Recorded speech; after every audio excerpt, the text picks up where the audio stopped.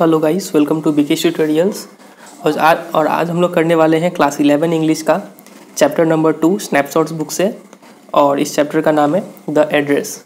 और इसके राइटर है मरगा मिन को। तो आइए शुरू करते हैं इस वीडियो को। This story is a poignant account of a daughter who goes in search of her mother's belongings after the war in Holland तो ये स्टोरी जो है, वो एक काफ़ी सैडफुल प्योगनेंट मतलब होता है सैड मार्मिक, एक दुख भरा अकाउंट है एक डॉटर का। और वो डॉटर मार्गा मिनको ही है।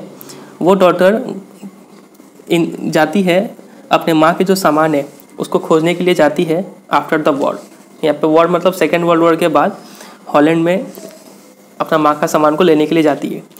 हुआ क्या था कि सेकेंड वर्ल्ड वॉर के दौरान हिटलर जो था, वो काफ़ी अत्याचार कर रहा था जी जीव लोग के ऊपर पे। और ये नरेटर और उनकी माँ क्या थे? जीव्स थे।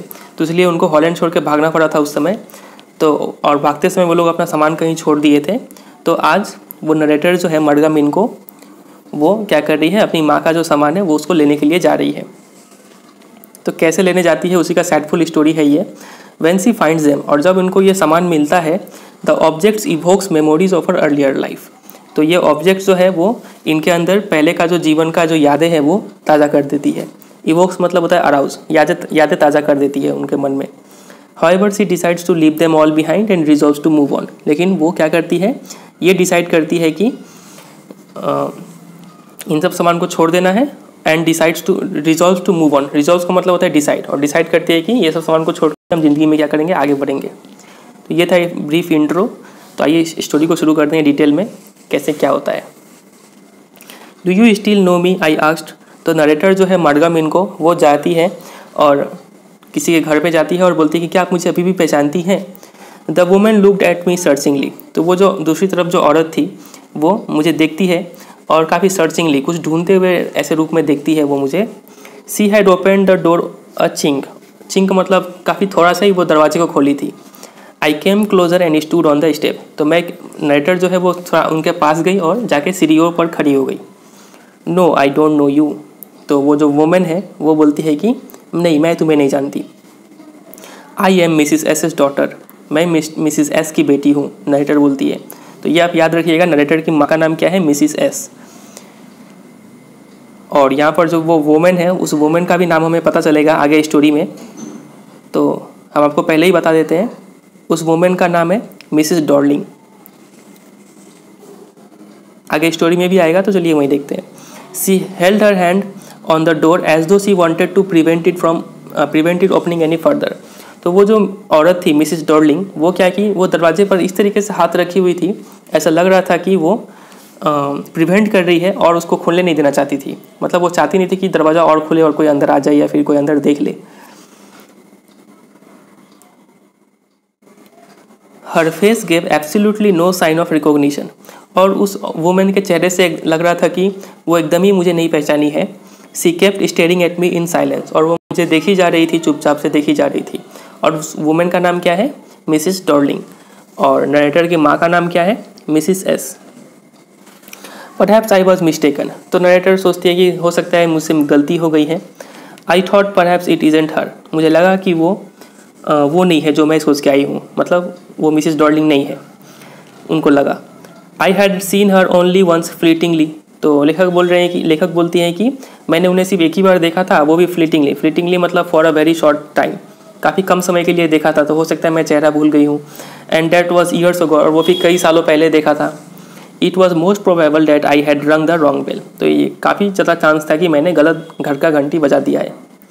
The woman let go of the door तो वो वोमेन जो है मिसिस डॉर्लिंग जो है, वो क्या करती है, दरवाजे को छोड़ देती है हाथों से and step to the side और आके साइड में खड़ी हो जाती है। She was wearing my mother's green knitted cardigan तो जब लेखक, जब वो वोमेन जो है मिसिस डॉर्लिंग वो दरवाज़ा को छोड़ देती है तो उनका जो हरे रंग का जो कार्डिगन कार्डिगन मतलब स्वेटर होता है, जिसमें आगे खुला हुआ होता है मतलब आगे में बटन्स होता है, और नीटेड मतलब हाथ से बुना गया था वो तो नेटर देखती है कि उसका जो, उनकी जो माँ है मिसिस एस उन्होंने वो स्वेटर बनाया था, और वही स्वेटर वो मिसिस डॉर्लिंग अभी पहनी हुई थी। तो नेटर का नज़र उस पर पड़ता है। The wooden buttons were rather pale from washing और उस कार्डिगन का जो बटन सब है, वो वुडन का था। वो धोते धोते पेल हो गया था येलोइश हो गया था। She saw that I was looking at the cardigan तो वो मिसिस डॉर्लिंग देखती है कि वो नरेटर जो है, वो उनका स्वेटर को ही देख रही है। तो वो क्या करती है? And half hid herself again behind the door वो फिर से जाकर दरवाजे के पीछे छिप जाती है, आधी छिप जाती है। But I knew now that I was right लेकिन अब लेखक समझ जाती है कि, लेखिका समझ जाती है कि कि मैं सही घर पे आई हूँ, मेरा एड्रेस सही है। Well you know my mother I आक्स तो नाइटर अब बोलती है कि अच्छा तो आप मेरी माँ को जानती है इसका मतलब। Have you come back said the woman तो वुमेन भी अब बोलती है कि अच्छा आप वुमेन भी पहचान गई, बोलती है कि, तुम आ गई? I thought that no one had come back मुझे तो लगा कोई नहीं आया। ओनली मी तो नाइटर बोलती है कि, नहीं, सिर्फ़ मैं ही आई हूँ, और कोई नहीं आया। आपको पता हो रहा है कि ये लोग क्या किए थे पहले? सेकेंड वर्ल्ड वॉर जब हुआ था तो ये लोग हॉलैंड छोड़ के भाग गए थे और अभी वापस आए हुए हैं। सिर्फ़ नाइटर आई हुई है उनकी माँ का सामान लेने के लिए। तो वही यहाँ पे मिसिस डॉर्लिंग बोलती है कि तुम आ गए? तो बोलती है, नहीं सब कोई आ गए क्या?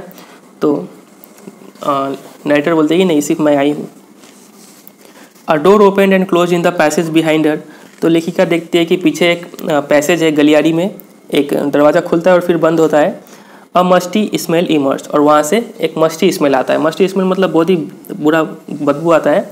मस्टी स्मेल कब आता है? जब कोई आपका मान लीजिए रूम है और उसमें बहुत दिन से फ्रेश एयर अगर अंदर नहीं जाए और वो रूम थोड़ा डैम्प हो भीगा भीगा हो तो वैसा जो स्मेल आता है, उसको बोलते हैं musty smell I regret I can not do anything for you तो मिसिस डॉर्लिंग बोलती है कि मुझे दुख है कि मैं तुम्हारे लिए कुछ नहीं कर पाई और कुछ नहीं कर पाऊँगी। I have come here specially on the train तो नाइटर बोलती है कि मैं यहाँ से, मैं यहाँ पर खासकर से ट्रेन से आई हुई हूँ। I wanted to talk to you for a moment मैं आपसे एक कुछ देर के लिए बात करना चाहती हूँ। It is not convenient for me now said the woman तो वुमेन बोलती है कि नहीं, ये मेरे लिए कन्वीनियंट नहीं है, सुविधाजनक नहीं है अभी। I can't see you another time देखिए, अभी हम तुमसे नहीं मिल सकते हैं, तुम कोई दूसरा समय में आओ। She nodded and cautiously close the door as though no one inside the house should be disturb तो वो इतना करके अपना सिर हिलाती है और बोलती, और धीरे से दरवाजे को बंद कर देती है। ऐसा लग रहा था कि वो दरवाजे को धीरे से क्यों बंद करती है? क्योंकि वो घर में किसी को डिस्टर्ब नहीं करना चाहती थी। इसलिए वो बहुत ही सावधानी से दरवाजे को बंद करती है। I stood where I was on the step तो लिख, लेखिका जहाँ पर खड़ी थी, वो वहीं पर खड़ी रही और दरवाज़ा उन्होंने बंद कर दिया। मिसिस डॉर्लिंग ने।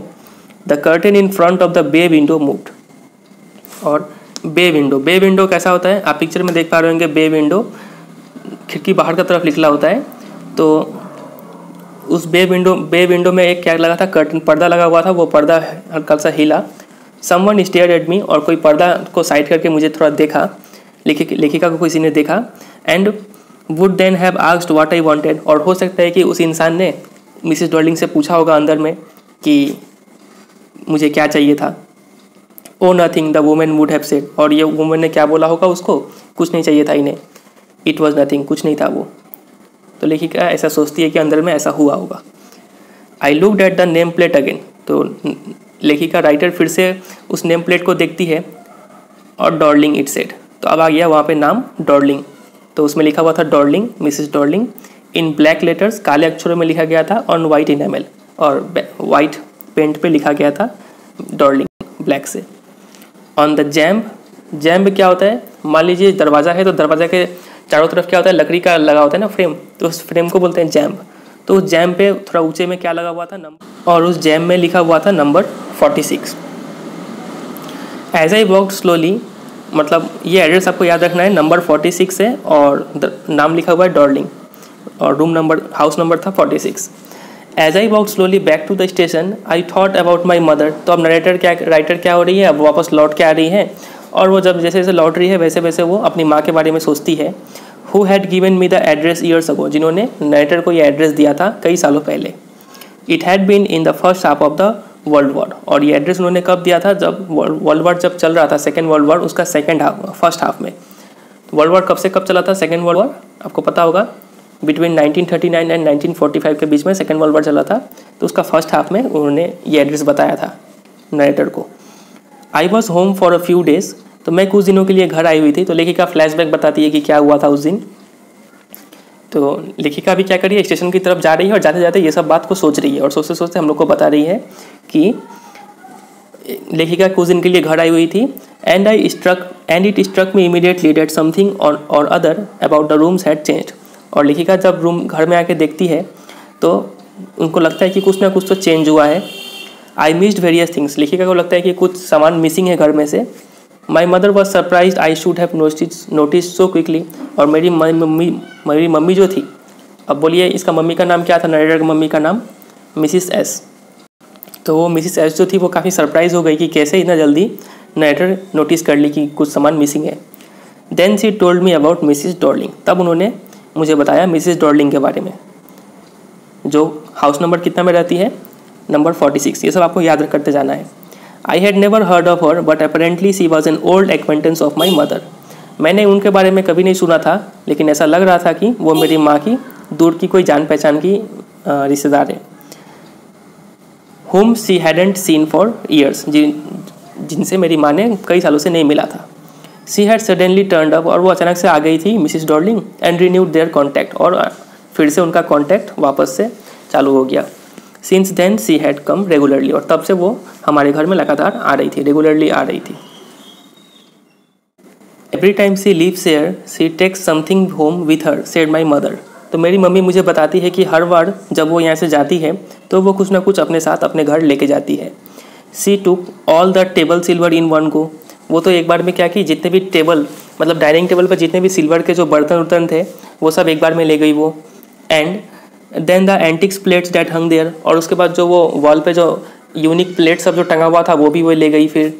She had troubled lugging those large vases और एक बार तो क्या हुआ कि उन्हें काफ़ी मुश्किल हुआ लगिंग लगिंग मतलब होता है कैरिंग कैरी करने में, क्या कैरी करने में? दोज लार्ज वेसेस फुलदानी जो था वहाँ पर बड़ा बड़ा उसको कैरी करने में उनको काफ़ी दिक्कत हुआ मिसिस डॉर्लिंग को।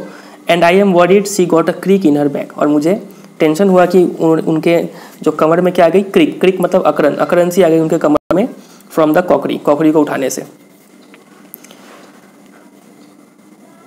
माई मदर सुख हर हेड पिटिंगली तो मेरी मम्मी जो थी वो काफ़ी दुख में अपना सिर हिलाती है कि सिंपैथेटिकली मतलब पिटिंग मतलब काफ़ी दया के भाव से वो अपना सिर हिलाती है। I would I would never have dared ask her तो मैंने मेरे मेरे में तो हिम्मत ही नहीं था उनसे ये बोलने का कि वो मेरे सब सामान को ले जाए।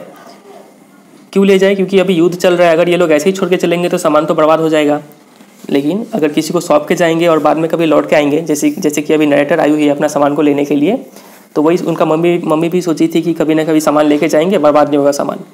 तो वही बोल रही है कि I would never have dared ask her मुझे तो हिम्मत ही नहीं था कि कभी हम उनसे ये बात बोल पाएँ कि आप मेरा सामान आप रख लीजिए। She suggested it to me herself उन्होंने खुद मुझे ये बात बताया था कि आपका सब सामान हम रख लेते हैं। उन्होंने किसने मिसिस डॉर्लिंग ने।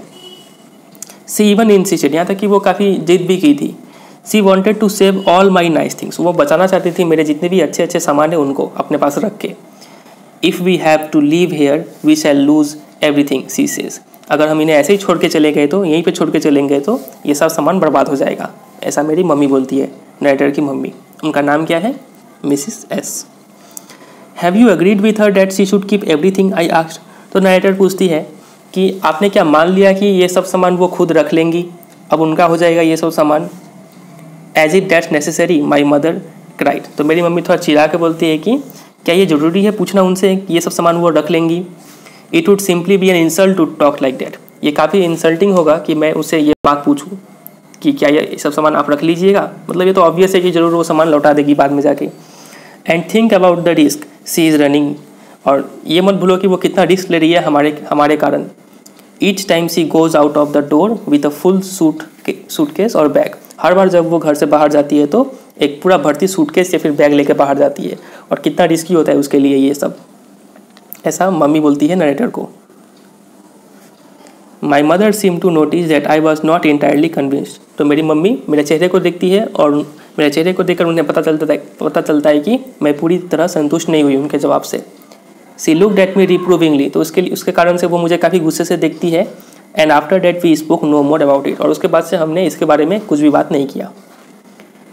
Meanwhile I had arrive at the station without having paid much attention to things on the way और ऐसा लेखिका सोचते सोचते कहाँ तक पहुँच गई हैं? आपको पता है वो स्टेशन की तरफ़ जा रही थी स्टेशन पहुँच गई, और रास्ते में उन्हें कुछ भी दिखा तो उस पर ज़्यादा अटेंशन वो नहीं पे की थी।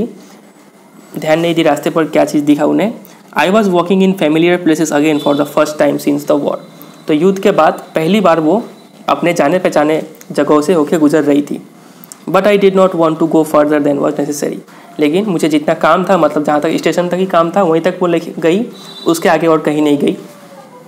I did not want to upset myself with the sight of streets and houses full of memories from a precious time मैं अपने आप को अपसेट दुखी नहीं करना चाहती थी। उन सब रास्तों और उन सब घरों को देखकर, जिनसे मेरी काफ़ी ज़्यादा यादें जुड़ी हुई हैं, और काफ़ी प्रीसियस टाइम मैंने वहाँ पे बिताया है। इन द ट्रेन और लेखिका जाके अब ट्रेन में बैठ जाती है।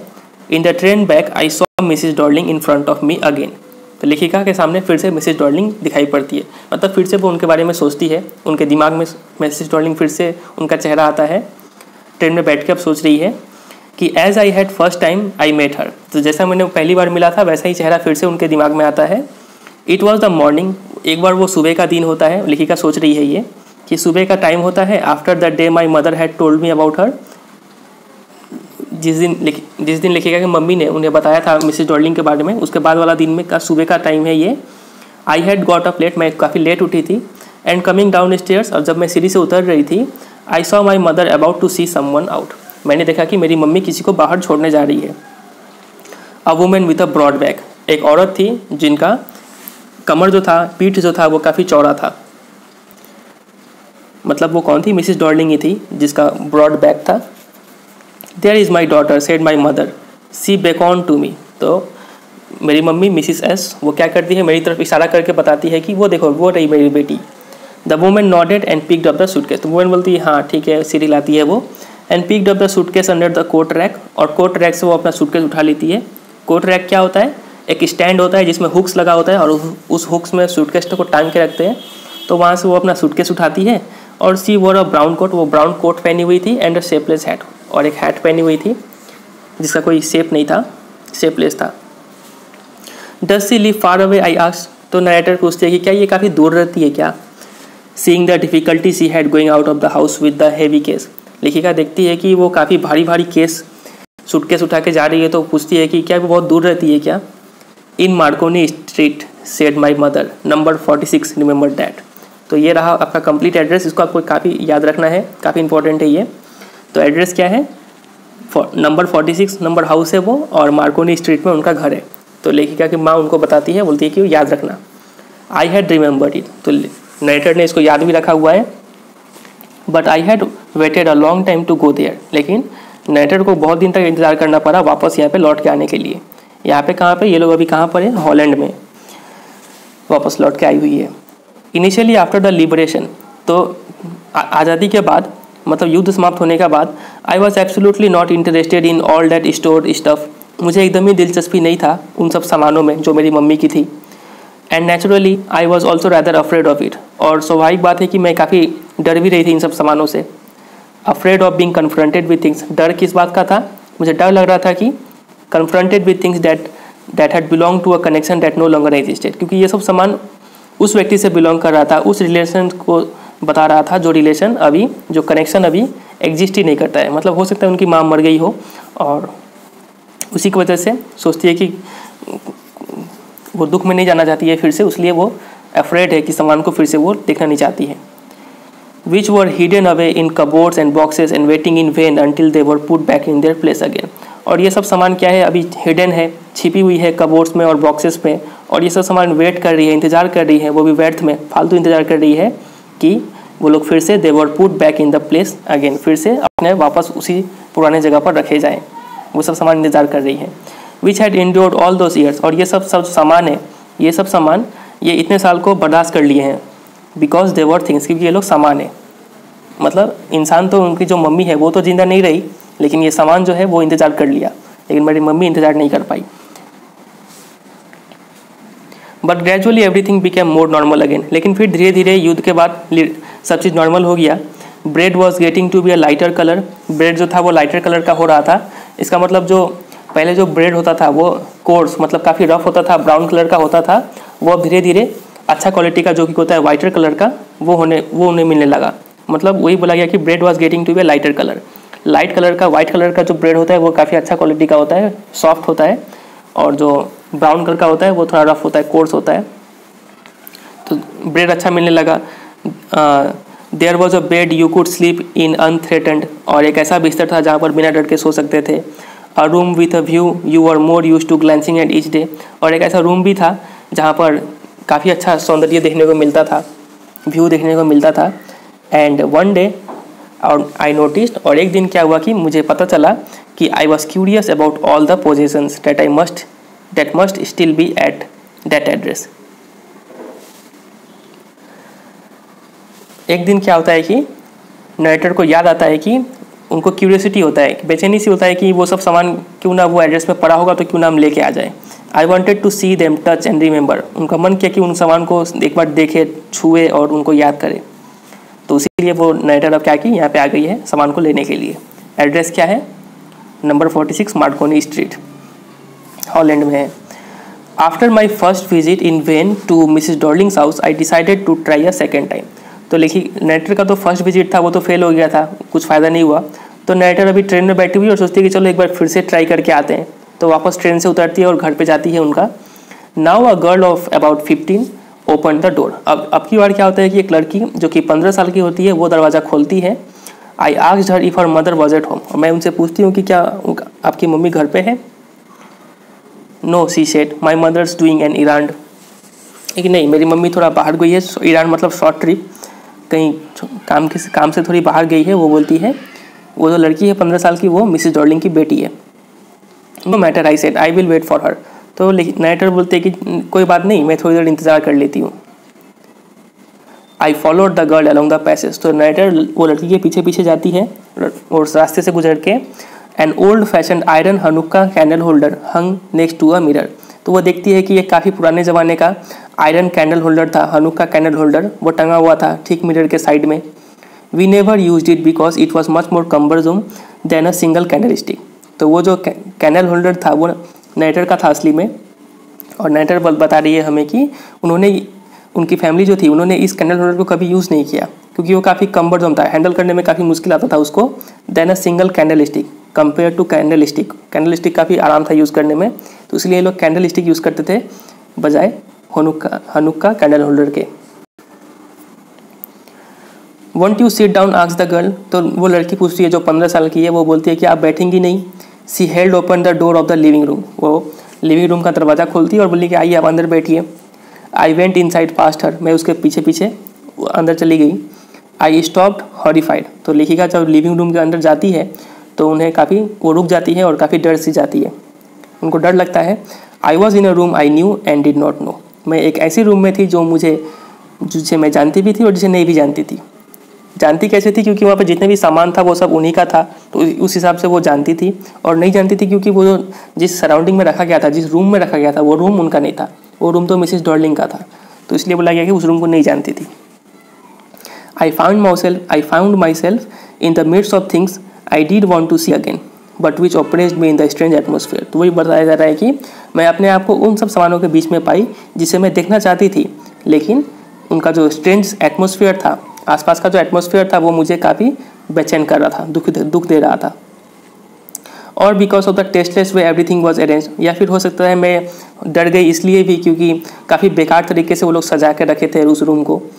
Because of the ugly furniture और the muggy smell that hung there furniture काफ़ी अगली था वहाँ पर और मगी स्मेल मगी मतलब वही फिर से मस्ती स्मेल जब रूम डैम्प हो और वहाँ पे फ्रेश एयर ना आए तो जैसा गंद आता है, वैसा गंद आ रहा था फिर से। तो उस गन के कारण लेखिका को कुछ ठीक नहीं लगा उस रूम में। I don't know but I scarcely dare to look around me तो लिखा बोले, मुझे पता नहीं क्या रीज़न था कि मुझे क्यों डर लग रहा था, लेकिन मुझे हिम्मत नहीं हुआ कि मैं रूम के चारों तरफ़ देखूँ, क्योंकि उनकी सब पुरानी यादें फिर से ताज़ा हो जाती। The girl move the chair तो वो लड़की जो पंद्रह साल की है, वो एक चेयर ला के देती है। आई सेट डाउन नाइटर उस पर बैठती है and stare at the woollen tablecloth और देखती है कि वो वुल का जो टेबल क्लॉथ है, उस पर उसको उस पर नज़र पड़ता है इनका। आई रब डिट तो लेखिका अपना जो हाथ है उस पर रब करती है। My fingers grew warm from rubbing तो लेखिका जो फिंगर्स है वो गर्म हो जाता है रब करने का वजह से फ्रिक्शन का वजह से। I follow the lines of the pattern तो फिर लेखिका क्या करती है, उनका जो, वो टेबल क्लॉथ जो था उसका साइड साइड में जो पैटर्न बना हुआ है, वो पैटर्न को वो फॉलो करती है, उसमें अपना उंगली चलाई जा रही है। Some somewhere on the edge there must be a burn mark that had never been repair तो नाइटर को पुराना याद याद है और वो बोलती है कि कहीं ना कहीं इस डिज़ाइन में, किनारे पर कहीं ना कहीं एक जड़ने का, जलने का मार्क होगा, जिससे रिपेयर नहीं किया गया होगा। तो लिखिएगा वो अभी भी सारा बात याद है। My mother will be back soon said the girl लड़की बोलती है कि मेरी माँ तुरंत आ जाएगी। I have already made tea for her मैंने उनके लिए चाय बनाया है। Will you have a cup क्या आप भी एक कप पियेंगी? थैंक यू नटर बोलते हैं कि thank you I looked up the girl puts the girl put cups ready on the tea table तो नाइटर जो है वो ऊपर देखती है और देखती है कि वो जो लड़की है वो कप्स जो है वो सजा रही है टी टेबल पर। She had a broad back तो उसका भी कमर और पीठ जो था वो काफ़ी चौड़ा था जस्ट लाइक हर मदर उसकी मम्मी की तरह। और मम्मी का नाम क्या है? Mrs Darling she pour tea from a white pot एक वाइट पॉट से वो चाय ढाल रही है। All it had was a golden gold border on the lid तो उस वाइट पॉट के जो ढक्कन जो था लीड जो था, उस पर गोल्ड बॉर्डर लगा हुआ था। आई रिमेंबर लिखिए को याद आ जाता है वो बात। She open the box and took some spoon out तो और लड़की जो है वो क्या करती है? एक बॉक्स खोलती है और कुछ वहाँ से चम्मच निकालती है। That's a nice box I heard my own voice तो ये नाइटर जो है वो खुद ही बोलती है कि वो काफ़ी अच्छा बॉक्स है। जिस बॉक्स में क्या रखा हुआ था? स्पून रखा हुआ था। I heard my own voice उन्हें अपना बात खुद ही सुनाई पड़ता है। मतलब उनको लगता है कि कोई और उनका आवाज़ उन्हीं को सुनाई दिया। It was a strange voice वो काफ़ी अजीब सा आवाज़ था उस रूम में as though each sound was different in is room in this room ऐसा लग रहा था कि इस रूम में हर एक आवाज़ अलग है, दूसरे का आवाज़ लग रहा था। मतलब लेखिका तो खुद ही बोली है कि डेट्स अ नाइस बॉक्स उनको लग रहा था कि कहीं और से आया वो आवाज़। ओ you know about them she had turned around and brought me my tea तो बोलते कि अच्छा तो तुम इसके बारे में जानती हो? तुम्हें यह बॉक्स बार के बारे में पता है? वो पीछे घूरती है और मेरे लिए चाय लेके आती है। सी लाफ्ट और वो काफ़ी हंसती भी है। My mother says it's antique वो बोलती है कि उनकी मम्मी जो है मतलब मिसिज डॉर्लिंग जो है, उनका कहना है कि ये काफ़ी एंटिक है यूनिक है। We have got lots more बोलती है हमारे पास ऐसा बहुत सारा चीज़ है, इस बॉक्स के जैसा। She pointed round the room और वो रूम के चारों तरफ़ उंगली दिखा के बताती है कि देखो, वो देखो, ये सब ये सब। सी फॉर योर सेल्फ बोले कि आप खुद ही देखो। I had no need to follow her hand तो नाइटर बोलते कि मुझे कोई ज़रूरत नहीं था उसका हैंड को फॉलो करने का।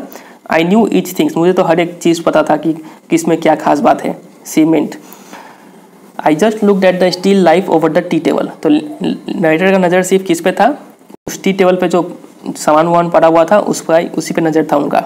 As a child I had always fancied the apple on the pewter plate तो जब लेखिका एक बच्ची थी, तब वो उनको हमेशा प्यूटर प्लेट पर एप्पल जो सजा हुआ मिलता था। उनको काफ़ी पसंद था उनको। वैसे सजा हुआ apple we use it for everything she said तो वो लड़की अभी भी बता रही है कि हम लोग हर चीज़ के लिए इस्तेमाल करते हैं। Once we even ate off the platters hanging there on the wall मतलब बोल रही है कि वॉल की तरफ़ वॉल में एक प्लेट टंगा हुआ है कुछ। तो वो बोलती है कि, एक बार तो हमने उस प्लेट्स में खाना भी खाया था। I wanted to so much मैं उसमें बहुत चीज़ करना चाहती थी but it wasn't anything special लेकिन उसमें कुछ खास उतना बात निकला नहीं। I had found a burn mark on the tablecloth तो नाइटर जो उंगली सहला रही थी उस टेबल क्लॉथ के चारों तरफ़ से और बोली थी कि कहीं ना कहीं जला जलने का निशान होगा तो उन्हें वो जलने का निशान मिल जाता है बर्न मार्क मिल जाता है। The girl look questioningly at me वो लड़की देखती है कुछ क्वेश्चन करने का भाव से उसको देखती है नरेटर को। यस आई सेड तो नरेटर अब बोलते हैं कि हाँ you get so use to touching all those lovely things in the house you hardly look at them anymore हाँ जब आप अपने घर में रहते हो तो आपको इतना यूज़ टू हो जाते हो आप उस सामान से, इतना आदत लग जाता है आपका कि आप you hardly look to look at them anymore कि आप उन पर देखना ही बंद कर देते हो। जब नॉर्मल जो घर का सामान होता है उसके हम लोग इतना यूज़ हो जाते हैं कि उस पर ठीक से देखते भी नहीं है। You only notice when something is missing आप उस पर ध्यान तब देते हो जब वो सामान आपके पास ना रहे तो। Because it has to be repair क्योंकि वो सामान कहाँ गया होता है? रिपेयर होने के लिए गया होता है। और because you have lent it या फिर आपने किसी को दिया हुआ होता है। फॉर एग्ज़ाम्पल एग्ज़ाम्पल के लिए। तो नेटर अपना खुद का एग्ज़ाम्पल दे रही है मतलब नेटर को पता है कि वो क्या बोल रही है, लेकिन वो लड़की तो नहीं समझ पाई होगी कि वो क्या बोल रही है। कि नेटर बोल रही है कि उन्होंने, उनकी मम्मी ने वो सब सामान इनको दिया था, और तब इनको उस सामान को असली मिस कर रही है वो, वही बता रही है यहाँ पर। Again I heard the unnatural sound of my voice तो लेखिका को फिर से अपना ही आवाज़ फिर से सुनाई पड़ता है। एंड आई वेंट ऑन और लेखिका फिर से बोलना चालू करती है। I remember my mother once asked me if I would help her polish the silver मुझे याद है कि मेरी मम्मी ने एक बार मुझे बोला था कि मैं उनकी मदद करूँ सिल्वर को पॉलिश करने में। It was very long time ago काफ़ी दिन पहले था वो। And I was probably bore that day or perhaps I had to stay at home और मैं उस दिन काफ़ी बोर भी हो रही थी, या फिर हो सकता है कि मुझे उस दिन घर में रहना पड़ा था, उसलिए मैं बोर हो रही थी। बिकॉज़ आई वॉज़ इल क्योंकि मैं बीमार थी। As she had never asked me before तो बोल रही है कि मेरी मम्मी ने कभी मुझे सिल्वर को पॉलिश करने के लिए नहीं बोला था, लेकिन आज बोला था आई आक्स हर विथ सिल्वर सीमेंट तो मैंने पूछा अपनी मम्मी से कि कौन सा सिल्वर को पॉलिश कर दूँ। आपको पता है सिल्वर का मतलब होता है चांदी। एंड सी रिप्लाइड सरप्राइज़ और मेरी मम्मी जो है, वो रिप्लाइड रिप्लाई देती है काफ़ी सरप्राइज़ होके कि that it was the spoon या चम्मच को साफ़ करो। फॉर्क्स एंड नाइफ्स कांटेदार चम्मच और नाइफ छुरी को साफ़ करो of course and that was the strange thing और ये काफ़ी अजीब बात था कि I didn't know the cutlery we ate off every day was silver कि नाइटर को ये तक पता नहीं था कि वो कटलेरी ये जो चम्मच फॉक्स नाइफ्स जो है, जिसे वो लोग रोज़ खाते थे, वो सिल्वर का था। नाइटर को ये तक, ये बात तक पता नहीं था। तो वही ये इंसिडेंट शेयर करती है उस फिफ्टीन ईयर्स ओल्ड गर्ल के साथ। द गर्ल लाफ्ड अगेन तो वो लड़की फिर से हंस पड़ती है। I bet you don't know it is इधर I look intently at her तो लेखिका ये बात बोलती है कि मैं श्योर बोल सकती हूँ कि तुम्हें भी ये बात पता नहीं होगा कि तुम जिसमें खाना खाना खाती हो, वो सब सामान क्या चीज़ का होगा? सिल्वर का होगा। ये बात तुम्हें भी पता नहीं होगा। What we eat with she आग, बोले, क्या जिससे हम खाना खाते हैं वो चांदी का है? वेल डू यू नो तुम्हें पता है क्या? सी हेजिटेटेड वो हिचकिचाई मतलब उसको पता नहीं था कि वो जो उसका स्पून और फ्रॉक सब चांदी का है। She walk to the sideboard and wanted to open a drawer. तो वो साइड बोर्ड की तरफ़ जाती है और ड्रॉवर खोलने की कोशिश करती है और बोलती है कि I will look it is here in रुको, मुझे देखने दो, ये सब चांदी का है कि नहीं? I jump up I was forgetting the time तो नाइटर तुरंत उठ जाती है और बोलती है कि, मैं समय भूल रही हूँ I must catch my train मुझे ट्रेन भी पकड़ना है। She had her hand on the drawer तो उस लड़की का हाथ ड्रॉवर में पहुँच चुका है और ड्रॉवर खोलने वाली है। Don't you want to wait for my mother वो बोलते कि, क्या तुम मेरी मम्मी के लिए इंतज़ार नहीं करोगी? No I must go I I walk to the door तो नाइटर बोलती है कि नहीं, मुझे जाना ही होगा। तो इतना बोलते बोलते नाइटर दरवाजे के पास पहुँच जाती है। The girl pull the drawer open लड़की क्या करती है ड्रॉवर को खोल देती है। I find my own way और नाइटर निकल जाती है रूम से बाहर। I walk down the passage narrator walk कर रही है पैसेज की तरफ़। उस गलियारी से वॉक किए जा रही है। I heard the jingling of spoon and forks और तब मुझे सुनाई पड़ता है, जितने भी वो चम्मच और फॉक्स से उनका गिरने का आवाज़ तो छन छन का आवाज़ आने लगता है। एट द कॉर्नर ऑफ़ तो इतना करके नेटर निकल जाती है रूम से। At the corner of the road और रास्ते पे जाके एक कोने से देखती है कि I looked at up at the nameplate फिर से वो नेम प्लेट पे देखती है और उसमें लिखा होता है Marconi street it said Marconi street लिखा हुआ है उस नेम प्लेट पे। I had been at number 46 उसमें 46 लिखा हुआ है। द एड्रेस वॉज़ करेक्ट और ये एड्रेस 100 परसेंट करेक्ट था but now I didn't want to remember it anymore लेकिन अब उस एड्रेस को मुझे याद नहीं रखना है। I wouldn't go back there मुझे मैं वहाँ पर वापस नहीं जाऊँगी। Because the object that are link to your memory with the familiar life of former times क्यों वापस नहीं जाऊँगी? क्योंकि वो जो ऑब्जेक्ट्स है, जो आपकी यादों के साथ जुड़ी हुई है, और वो यादें कब की हैं? आपके पहले के वक्त की है। इंस्टेंटली लूज देयर वैल्यू तो वो सब जो यादें हैं, वो सब जो ऑब्जेक्ट्स हैं वो सब अपना वैल्यू लूज कर देते हैं। See them again in strange surroundings वो सब वो सब सामान जिससे क्या है, यादें जुड़ी हुई है, वो सब तो वो सब सामान का क्या होता है? वैल्यू लूज हो जाता है कब? जब आप उसको किसी एक अजीब सराउंडिंग में बैठ के या फिर कोई और आपको उसको उसमें कुछ सर्व करे तो उस सामान का वैल्यू चला जाता है। उम्मीद करता है इसको समझ पाएँगे कि मतलब वो जो लड़की पता लड़की वो उन्हें उनके सामान उनको सर्व करेगी। तो ये बात बोले कि उनसे इससे क्या होगी वो तो सामान का उसका ऑब्जेक्ट का क्या वैल्यू लूज हो गया? And what should I have done with them in the small rented room और मैं उन सब सामान लेके भी क्या करती? क्योंकि मैं एक छोटे से भाड़े के रूम में रह रही थी रेंटेड रूम था। Where the shirts of blackout paper still hung along the windows और उस रूम में रूम के खिड़की पर ब्लैकआउट पेपर के छोटे छोटे टुकड़े अभी भी टंगे हुए थे। Blackout paper second world war के टाइम में यूज़ होता था। उस समय क्या करते थे कि ब्लैक पेपर खिड़की पर टांग देते थे, क्योंकि अंदर जब लाइट जलेगा तो बाहर के लोगों को पता नहीं चलेगा कि अंदर में कोई लोग है। तो इससे एनिमी से बचने के लिए ऐसा करते थे वो लोग। तो वो ब्लैकआउट पेपर अभी भी टंगे हुए थे खिड़की पे, उनके रेंटेड रूम में। And no more than a handful of cutlery fitted in the narrow table drawer. और उनके जो टेबल का ड्रॉवर था उसमें एक मुट्ठी भर कटलरी, वो जो चम्मच, छुरी, फॉर्क ये सब रखा हुआ था, इससे ज़्यादा कुछ नहीं था। तो बोले कि वैसे रूम में इन सब सामान को लेके जाके भी क्या करेंगी वो? I resolve to forget the address उन्होंने ठान लिया कि डिसाइड किया कि ये एड्रेस अब भूल जाना है। Of all the things I had to forget मुझे हर चीज़ भूल जाना है। That would be the easiest वो सबसे आसान तरीका होगा। इन सब चीज़ें मुक्ति पाने का। तो यही है फिर ये स्टोरी तो उम्मीद करते हैं आपको ये स्टोरी समझ में आया होगा। और अगर आपको ये स्टोरी अच्छा लगा तो ज़रूर वीडियो को लाइक कीजिए और कमेंट करके ज़रूर बताएँ कि आपको स्टोरी कैसा लगा। और आपके स्क्रीन पर आप देख पा रहे होंगे कि एक प्लेलिस्ट आ रहा होगा। उस प्लेलिस्ट में आपके जितने भी क्लास इलेवन के चैप्टर से आपको एक्सप्लेनेशन वहाँ पर मिल जाएगा। तो आप उसको ज़रूर क्लिक करके देख सकते हैं। और अगर आप इस चैनल पर नए हो तो चैनल को सब्सक्राइब भी कर लीजिए।